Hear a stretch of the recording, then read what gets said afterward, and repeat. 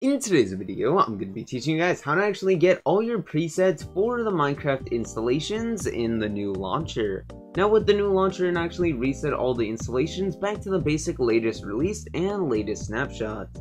So I'm going to be telling you guys how to quickly get all of them without having to import them separately. Which you can do by going to installations, then new installations, then scrolling through all the ones that you have. But obviously that takes a while, especially if you add more than one. So let's get into it. First what you want to do is open up percent app data. Just go to the search bar and type in percent app data. Now once you are actually there, you're going to want to click on .minecraft.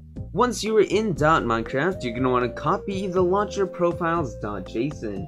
So as you can see, if we actually scroll down here, we can find the launcher accounts, but we want launcher profiles.json right over here.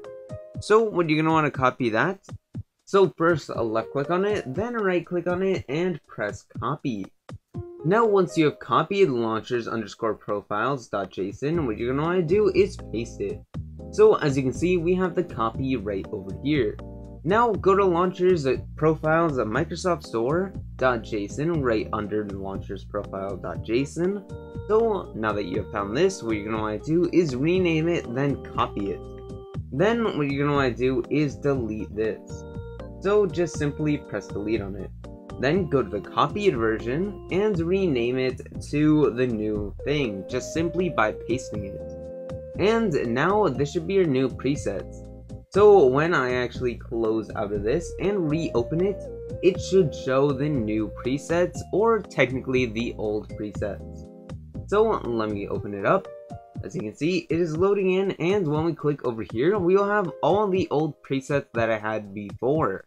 So this is very good if you want to transfer all your old presets without having to copy them over, changing the name, the icon, and the version, which is very annoying to do. Anyways, that's the end of this video. I really hope you guys enjoyed. Thank you guys so much for all the support and a thousand subscribers. And there will be a poll up by the time this video goes out saying what you guys actually voted for and what you need to actually type in the comments down below to get me to do in that video.